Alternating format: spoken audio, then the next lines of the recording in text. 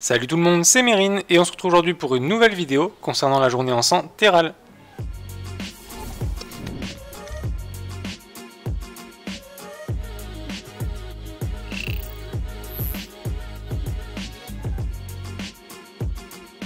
Une nouvelle journée en sang se déroule très bientôt puisque vous pourrez retrouver ce dimanche 14 mars de 11h à 17h une journée spéciale sur le thème de l'encens. Des Pokémon de type Acier et Psy, et plus particulièrement Terral, seront attirés lorsque vous utiliserez un encens. L'événement se décompose autour de deux types de Pokémon.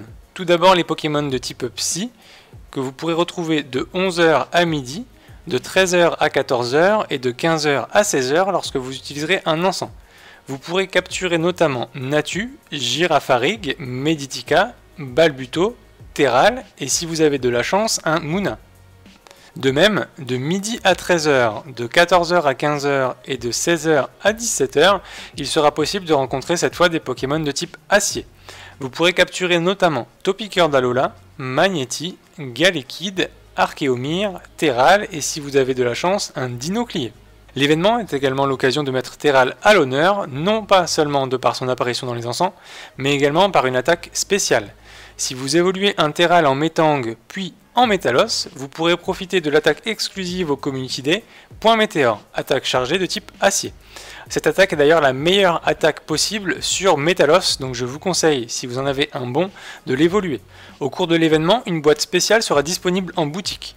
Pour une Poké-pièce, vous pourrez acheter un encens. Je voulais également revenir avec vous sur deux nouvelles études disponibles sur le jeu.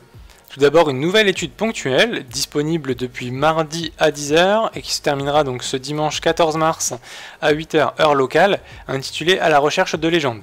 Cette étude met à l'honneur Tarinor. Il vous sera demandé de capturer ou de prendre en photo des Pokémon de différents types, par exemple des types plantes, des types roches, d'utiliser des baies ou encore de battre des sbires de la team Goroket donc vous pourrez retrouver en récompense de l'XP et des Pokémon Tarinor que vous aurez une chance de rencontrer en chromatique. Donc vous avez en vidéo euh, les différentes étapes à accomplir et je vous mets également dans la description le lien de l'étude complète. Une seconde étude est disponible, cette fois une étude spéciale intitulée Saison des légendes. Elle met à l'honneur les légendaires de la saison, à savoir Démétéros, Fulguris et Boreas.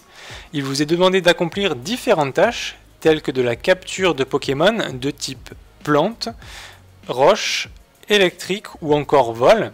Et vous pourrez obtenir en récompense notamment des bonbons Boreas, Fulguris ou Démétéros ou encore des leurs moussus ou des rencontres avec des Pokémon rares tels que Statitik ou Mounia. Cette étude est disponible depuis le mardi 9 mars à 10h et n'a pas de durée limitée dans le temps. Je vous mets en vidéo d'ailleurs les différentes étapes à accomplir et vous pourrez retrouver d'ailleurs dans la description l'article de l'étude complète. Voilà en tout cas ce qu'il en était concernant l'événement Encens Terral et les deux nouvelles études ajoutées dans le jeu. Si cette vidéo vous a plu, n'hésitez pas à le faire savoir dans les commentaires ou à laisser un petit j'aime. Je vous invite également à vous abonner à ma chaîne pour ne manquer aucune de mes nouvelles vidéos d'actualité Pokémon Go. Je vous conseille également de vous rendre sur le site Pokémon Go by Nim, je vous mets le lien dans la description, où vous pourrez retrouver des guides, des tutoriels, les dernières actualités Pokémon Go et un planning des événements pourrez notamment y retrouver les deux guides concernant les deux nouvelles études ajoutées dans le jeu. Les liens sont également dans la description. Je vous remercie d'avoir regardé cette vidéo et je vous dis à très bientôt pour de nouvelles actualités Pokémon Go. Salut tout le monde